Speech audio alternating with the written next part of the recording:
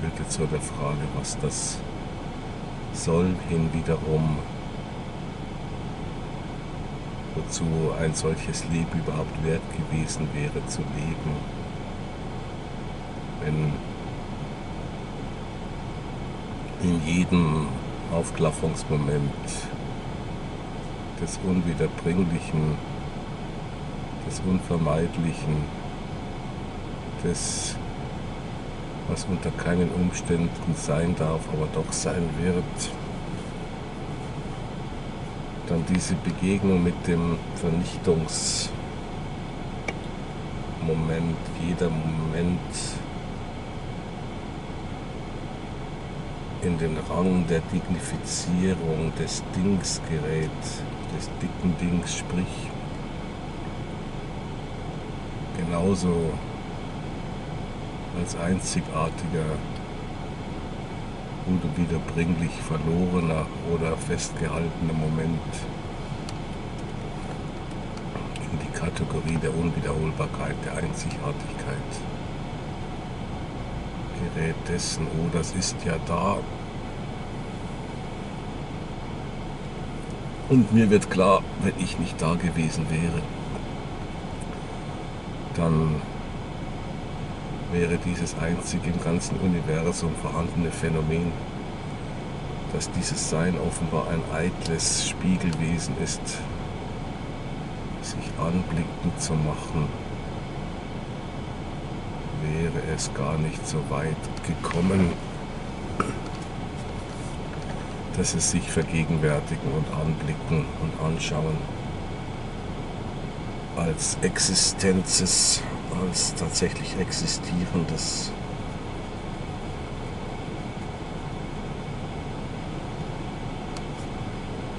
Und somit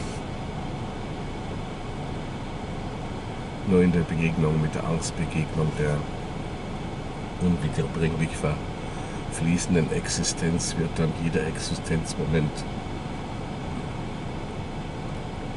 in den Rang der Einzigartigkeit erhoben. Und was soll daran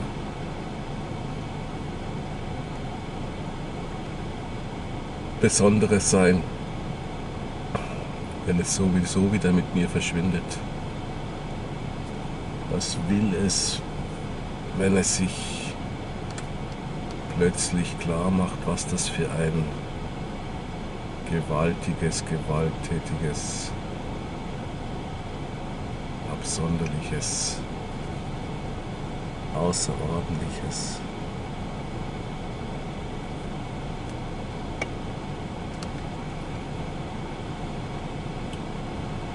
eine Anstrengung, eine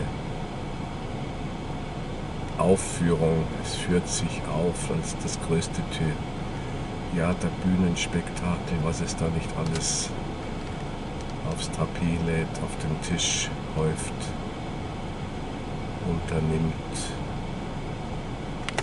Neben an Aberwitzigkeiten.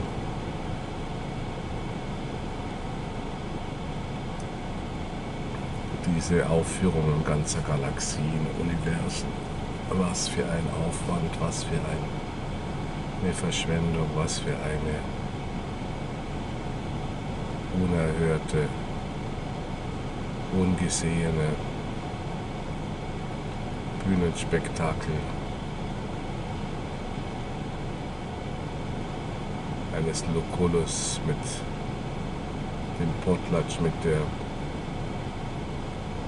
überwältigenden Vergeudung alles wird dran gesetzt. Sodass also das sich nicht erblicken lassen will als ein einziges Bühnenbild, sondern als dieses erschaudernde Phänomen, das es so weit getrieben hat, die Innenverwicklungen voranzutreiben, dass diese widerspiegeln können in ihrem Konvexspiegel dessen, was für einen Aufwand es da treibt, aber eben nicht als festzuhaltendes, als nicht ein zu dokumentierendes, sich selbst gleichbleibendes, sondern immer neu hysterisierendes, neu umschreibendes, neu transformierendes, immer sensationelleres, noch sensationelleres, noch ungehörteres, noch ungeseheneres. Nicht aufhören können das immer die Kleider, die Moden, die Ausfranzungen zu wechseln, damit es beklatscht und bejubelt werde, damit es sich noch mehr anstrengen müsse, damit es noch mehr und so weiter und so fort. Die ganze Gedankenreihe ist noch nicht zu Ende, wie sie in der Nacht stattfand, hinsichtlich der Frage, was das denn dann soll, ob es das wäre, was eine Existenz, ein Dasein wert gemacht hätte, sich so anzufühlen, dass das Leben auch Sinn machte, die reproduktionsfähigen betrifft diese Fragestellung sowieso nicht. So wie Dinosaurierhorden durch den Canyon getrieben von oben betrachtet. Gar nicht auf den Gedanken gekommen werden, auf den Meteor zu warten.